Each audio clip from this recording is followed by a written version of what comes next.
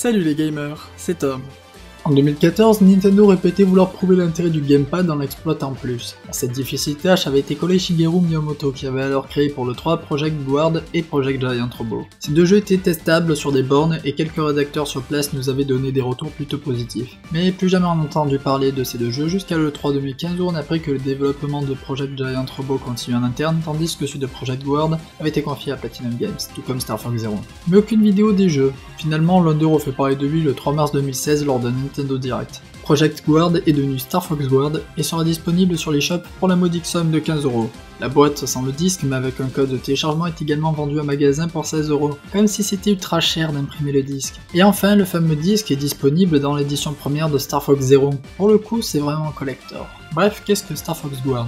Eh bien, c'est un tower défense. Vous vous demandez peut-être ce qu'est ce genre, je vais vous l'expliquer car je sais que le terme parle plus aux joueurs PC que console. Le nom parle pour lui, un tower defense est un jeu où il faut défendre une zone contre des vagues successives d'ennemis, tout simplement. Ici, la Wii U va amener un véritable plus au genre. Vous êtes un employé de la SARL Les Bons Minerais de Corneria avec le meilleur personnage de la Team Star Fox, Sleepy Todd, et son oncle Hitler.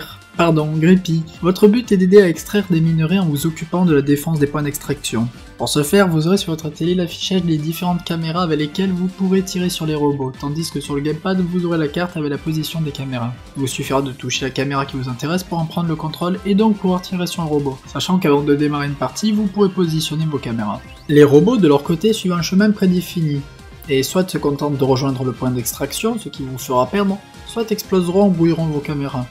A vous d'utiliser judicieusement les 12 caméras pour ne pas les laisser atteindre leur but. Vous aurez une centaine de missions avec des objectifs spéciaux qui se débloqueront en fonction des niveaux. Cependant, comme les parcours des robots sont prédéfinis, il n'y a pas de réel intérêt à refaire toutes ces missions.